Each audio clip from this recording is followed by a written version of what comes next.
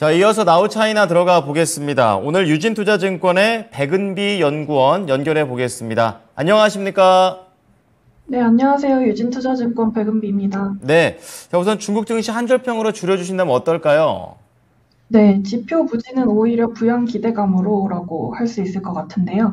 일단 어제 중국의 6월 물가 지표가 발표가 되었습니다. 어, CPI는 0% 그리고 PPI는 마이너스 5.4%로 이제 2009년 이래 최저 수준을 기록을 했는데요. 어, 이 때문에 중국에서는 계속 디플레 우려가 계속해서 커지고 있는 상황으로 보여집니다. 우선 일단 6월 물가 지표를 좀 살펴보면 CPI의 경우에는 이제 유가 하락, 뭐 육류, 과일 등 식품 가격 하락, 그리고 임대료 하락 등의 영향을 받았고 PPI 같은 경우는 이제 비철금속이랑 석탄, 철강 등 대다수의 원자재 가격이 전반적으로 좀 하락을 하면서 지표를 끌어내렸습니다. 어, 결국은 이제 중국 내 경제 성장 동력이 강하지 않고 내수 부진, 심리 부진이 이어지기 때문이라고 볼 수 있을 것 같은데요.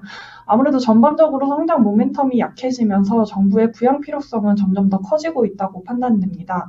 어, 일단 국무원 리창 총리도 이를 좀 알고 있는 것 같은데요. 경제학자들과 간담회를 통해서 경기 부양안에 대해 논의한다는 소식이 있었던 걸로 봐서는 어, 이달에 있을 정치국 회의에서 이제 경기 부양책이 발표될 가능성이 있을 것 같습니다.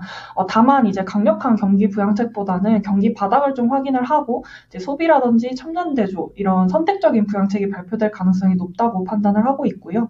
어, 중국 정부가 이렇게 조심스럽게 좀 대응을 하고 있는 데에는 과거 경험에서 좀 이유를 찾아볼 수 있을 것 같습니다.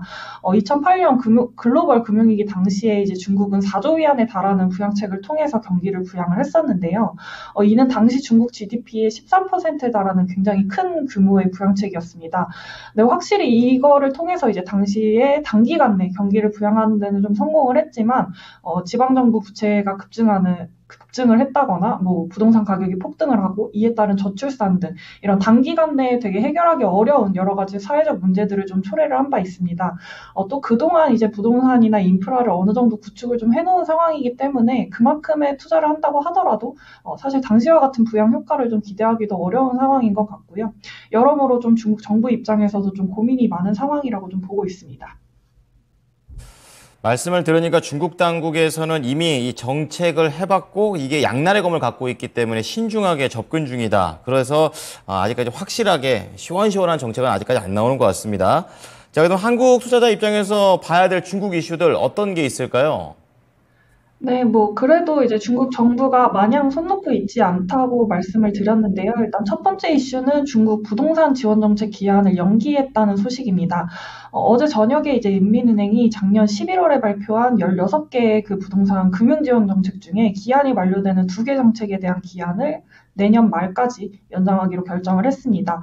어, 부동산 개발업체 대출이랑 신탁대출 상환 기간을 이제 2024년 말까지 연장할 수 있도록 허용을 했고요. 어, 특별대출 지원 프로젝트를 통해서 조달한 자금도 상환 기한까지 이 위험 등급을 하향 조정하지 않도록 조정을 했습니다. 어, 이로써 이제 부동산 개발업체들의 단기 유동성 위기는 일부 해소될 수 있을 것으로 좀 기대가 되고요. 어, 기업들의 자금 조달이 아무래도 용이해지면 그동안 이제 가계 심리를 좀 짓눌렀던 완공이라든지 입주도 좀 가속화될 것으로 기대가 되는 상황입니다. 어, 또 부동산은 이제 공급층 문제와 더불어 수요 부진의 문제도 좀 상존을 하고 있는 상황이기 때문에 어, 하반기에 부동산 수요 촉진을 위한 정책도 나올 수 있을 것으로 전망이 되고요. 완공 물량이 좀 늘어서 가계 심리가 개선이 된다면 천천히 이제 나아가서 이제 판매 개선이라든지 부동산 추가 투자까지도 좀 기대해 볼 수 있을 것으로 보고 있습니다. 그리고 두 번째 같은 경우는 중국의 민간 기업 살리기 움직임인데요. 어, 지난 7일 날 중국 금융당국이 그 엔트그룹과 산하기업의 70 1억 위안, 어, 하나로는 약 1조 3천억 정도에 달하는 벌금을 부과를 했습니다. 어, 3년간의 당국의 조사로 인해서 이제 앤트그룹의 기업 가치는 3,150억 달러에서 최근에 이제 785억 달러로 3배 넘게 하락을 했습니다. 어, 벌금이 이렇게 부과됐다는 소식에도 불구하고 알리바바 주가는 7일날 8% 넘게 상승을 했는데요. 어, 규제 일단락에 대한 기대감 때문입니다. 어, 3년 전에 중국의 빅테크 규제의 시작이 바로 앤트그룹의 IPO 무산 사건부터였기 때문에 어, 이번에 벌금 부과로 조사가 좀 끝났기 때문에 빅테크 단속도 좀 일단락 되었다는 기대감이 형성된 것 같습니다. 어, 확실히 작년부터 중국 당국 자체에서도 이제 빅테크에 대한 빅테크 기업을 좀 언급하는 뉘앙스도 좀 과거와 달리 청년 고용이나 첨단 산업 발전에 굉장히 중요한 역할을 한다고 좀 이렇게 긍정적인 뉘앙스로 좀 바뀌었고 어, 앤트그룹의 벌금 부과 소식 다음 날 발개위는 이제 민간 기업들을 초대를 해서 어, 자담회를 개최를 하고 이제 현재 경영 상황이나 애로 사항들을 좀 듣고 어, 이를 해결하기 위한 거시적 정책을 마련하겠다고 좀 약속을 했는데요.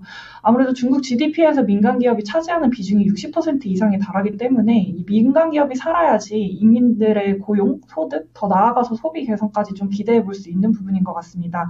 그래서 이제 정부의 민간 기업 지원에 대한 움직임은 이런 경기 부양에 대해서 좀 긍정적인 시그널이라고 좀 생각이 되고요.